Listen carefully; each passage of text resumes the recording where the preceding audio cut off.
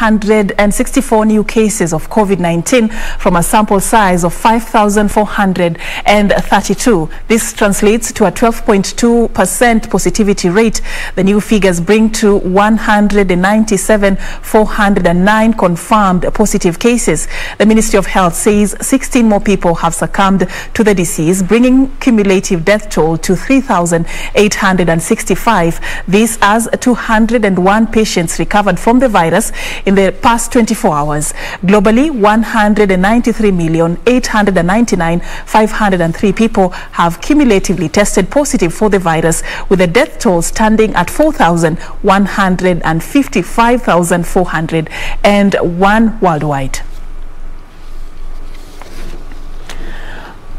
All right, remember still in this broadcast, we are going to be talking about something very important. Are you a parent? Are you a caregiver? And you're passionate about advancing